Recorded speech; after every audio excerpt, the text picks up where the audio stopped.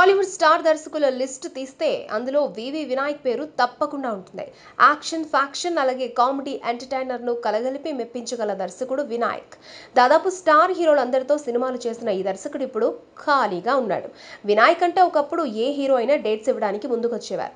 అఖిల్ లాంటి disaster cinema తర్వాత కూడా మెగాస్టార్ చిరంజీవి తన రీఎంట్రీ కోసం వినాయక్ నే ఎంచుకున్నాడంటే ఆయన ప్రతిభపై ఎంత నమ్మకమో చెప్పొచ్చు. కానీ వాతావరణం ఎప్పుడూ ఒకేలా ఉండదు కదా. ఇంటెలిజెంట్ సినిమా తర్వాత వినాయక్ పరిస్థితి మరీ దారుణంగా తయారైంది. సి. కళ్యాణ్ మరో సినిమా నిర్మించాలని అతనితో ఒప్పందం కుదుర్చుకున్నాడు. నిర్మాత దొరికినా దర్శకుడికి కథానాయకుడు దొరకలేదు. బాలకృష్ణ సినిమా చేయడానికి ఒప్పుకున్నప్పటికీ కథతో మెప్పించలేకపోయాడు వినాయక్. చాలామంది రచయితలను కలిశాడు. ఎన్నో కథలను చూశాడు. అయినా బాలకృష్ణ గ్రీన్ సిగ్నల్ ఇవ్వలేదు. ఇతర హీరోలను కలిసినా కూడా వారు వినాయక్ అంటే వద్దు అనేస్తున్నారట.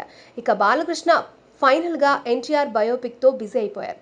ఆ చిత్రం తర్వాత బాలయ్య బోయపాటితో ఒక సినిమా చేయనున్నారు. దీన్ని బట్టి వినాయక్కి బాలకృష్ణతో చేసే అవకాశం చేజారినట్లేనని టాక్ వస్తోంది.